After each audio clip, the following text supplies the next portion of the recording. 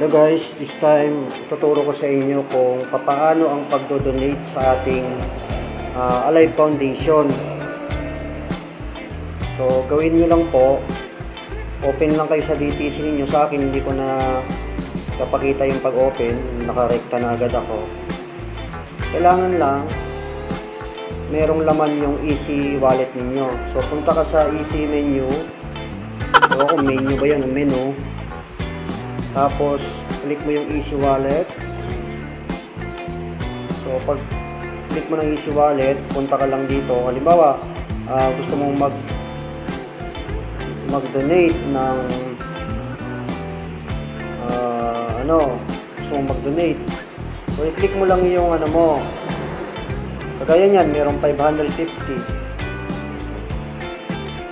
Click mo lang tong box na to may makikita ng enter amount type. Mo lang yung amount. Halimbawa 550 yan. So hindi ko na yan but pinapakita ko lang para para magsisilbing guide ninyo. Then pagka na-type mo na yung number yung amount saka mo i-click yung reload easy wallet. Okay? O makikita mo yung record nyo dito sa baba kung na-transfer na o tsaka kung hindi pa siya nadideduct o kanina kasi, nag-donate ako kaya nadidak na yung 21,000. Okay.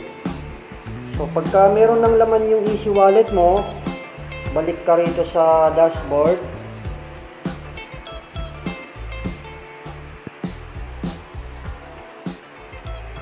Ay guys, ano pala ha?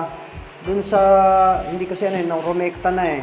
Pero sa ano kasi yan, pagka nag, nag-login ka, dalawang beses ka magla-login kung ano yung username and password mo sa unang login sa DTC natin, may bukod siyang login dun sa Easy Empowered Consumerism na Easy Shop.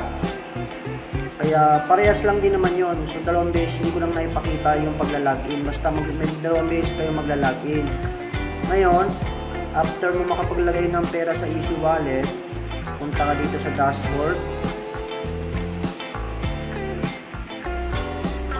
Pagka nagpunta ka na sa dashboard, punta ka dito sa login to easy shop. Kung kulay, kulay red na yan, click mo lang yan.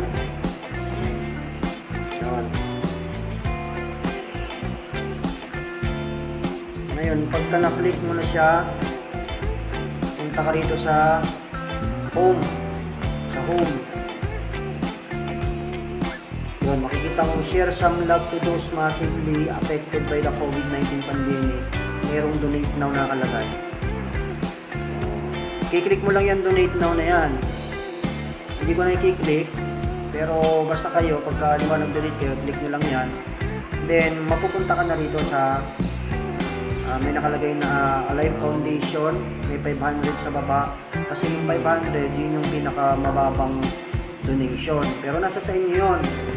Ngayon, kung halimbawa na nag-donate kayo ng halagang 5,000, so 500 times 10 yon.